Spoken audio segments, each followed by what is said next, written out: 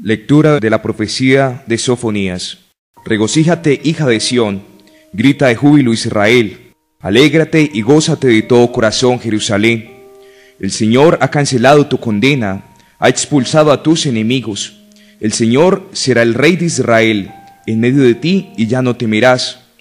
Aquel día dirán a Jerusalén, no temas Sión, no desfallezcan tus manos, el Señor tu Dios en medio de ti es un guerrero que salva. Él se goza y se complace en ti, te ama y se alegra con júbilo, como en día de fiesta.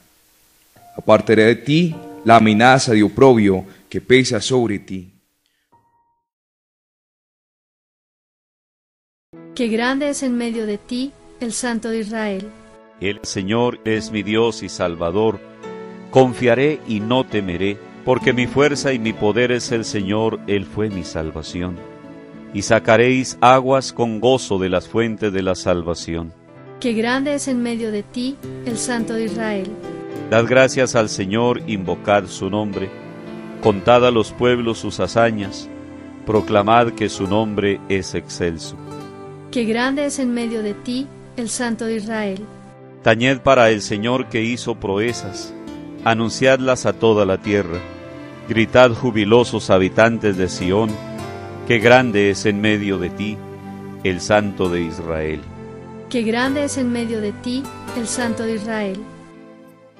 De la carta del apóstol San Pablo a los romanos. Hermanos, que el amor de ustedes sea sincero. Aborrezcan el mal y practiquen el bien. Ámense cordialmente los unos a los otros como buenos hermanos. Que cada uno estime a los otros más que a sí mismo. En el cumplimiento de su deber, no sean negligentes y mantengan un espíritu fervoroso al servicio del Señor. Que la esperanza los mantenga alegres. Sean constantes en la tribulación y perseverantes en la oración. Ayuden a los hermanos en sus necesidades y esmérense en la hospitalidad. Bendigan a los que los persiguen, bendíganlos, no los maldigan. Alégrense con los que se alegran, lloren con los que lloran. Que reine la concordia entre ustedes. No sean pues altivos, más bien pónganse al nivel de los humildes.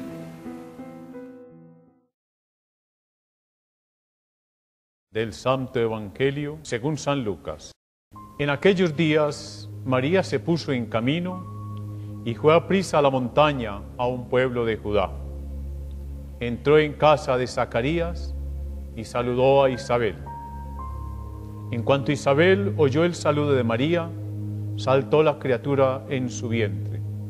Se llenó Isabel del Espíritu Santo y dijo a voz en grito, Bendita tú entre las mujeres y bendito el fruto de tu vientre.